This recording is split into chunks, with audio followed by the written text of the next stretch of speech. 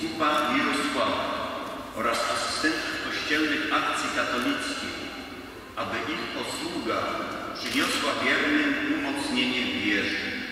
Ciebie prosimy, wysłuchaj nas. Modlmy się za chrześcijan, aby pogłębiali swoją wrażliwość na problemy misyjne Kościoła i byli gotowi do czynnej pomocy na rzecz potrzebujących. Ciebie prosimy, wysłuchaj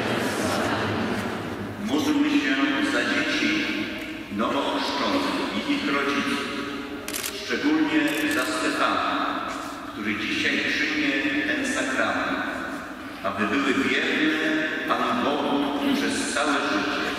Ciebie prosimy,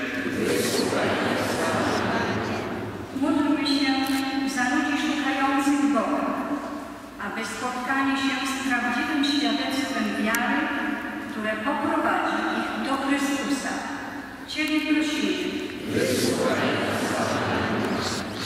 Módlmy się o wyniesienie na ołtarze kardynała Augusta Chlonda, wielkiego prymasa i pasterza, któremu zawdzięczamy powołanie akcji katolickiej w Polsce.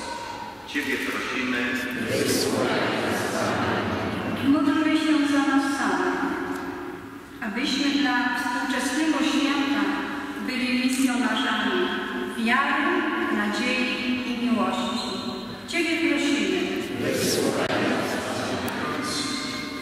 Żeby przekryły ducha Polaków tam mieszkających, a także dały dary eucharystyczne, chleb i wino.